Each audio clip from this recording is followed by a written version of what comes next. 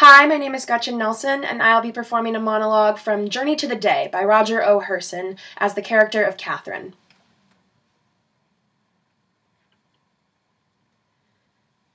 He needed us. He needed our love, and, and we shut him out.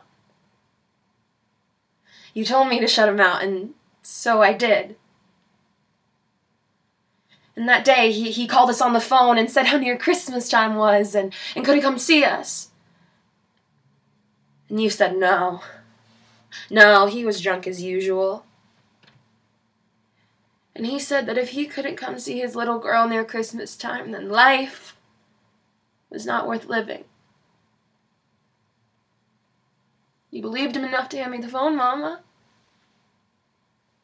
and you said, I'm going to go next door and call the police. I know where he is. And then you said, just hold on to this phone. Don't talk to him. Just hang on to this phone so he knows I haven't hung up. But don't talk to him because he's drunk as usual and I don't want you talking to him in that condition. No telling what he might say. So I held on to that phone, Mama. And I heard him say, Is anyone there?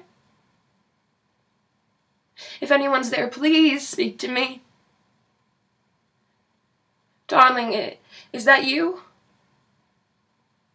Darling, if that's you, please speak to me, just so I know that I still have a place in your heart.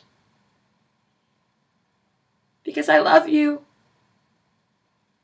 No matter what I've done or where I've been, I love you. Please speak to me for the love of God.